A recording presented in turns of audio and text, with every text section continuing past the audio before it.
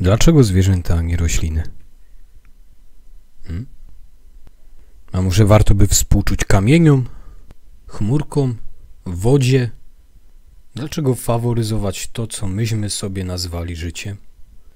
A może, jak, jak chcą opisy świata innych kultur, żyje wszystko? Hmm?